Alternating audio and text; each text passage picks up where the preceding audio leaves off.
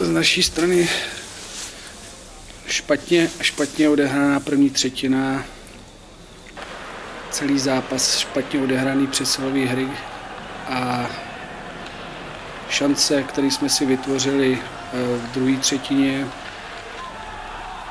byly eh, zakončeny s malým důrazem. A to, co jsem říkal, naše, naš dneska naše přesilové hry byly špatné a v té jsme ještě inkasovali v třetí třetině. Nemůžeme být absolutně spokojení s, s tímhle výkonem, co jsme předvedli na venkovní půdě. Tak samozřejmě, to na to tady řekl, já si myslím, že my jsme zase tu první třetinu si hráli dobře. Hosty, se k, hosty jsme k ničemu moc nepřipustili, ale bohužel těma vyloučeníma v druhé třetině a tím, že jsme začali hrát taky zase něco jiného, než jsme hráli první třetinu, jsme se dostali sami pod tlak. No.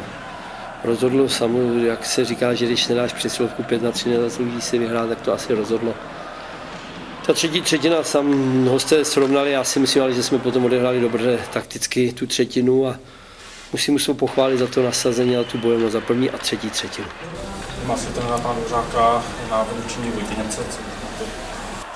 Tak rozhodčí se rozhodl tak a v tom momentě už nepomůže nikdo, tak tam se musí hrát krotit a může si myslet, co chce, nebo, ale nesmí to říkat nahlas. Ještě jednu otázku, eh, tam přát na Vejtěna, to je jeho poslední zápas v Brdsku. Byl to jeho poslední zápas a vyšel mu skvěle dneska, musím pochválit. A rozloučil se s Havlíčkem Brodem dobře.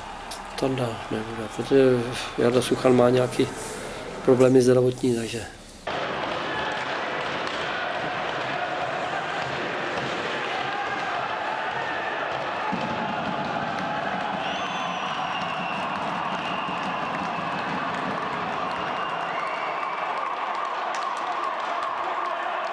Televize HB in Havlíčkův Brod. Obrazové informace z vašeho nejbližšího okolí. Televize HB in Havlíčkův Brod. Digitální technologie, výroba dokumentů, reklamy a zpravodajství z regionu Vysočiny.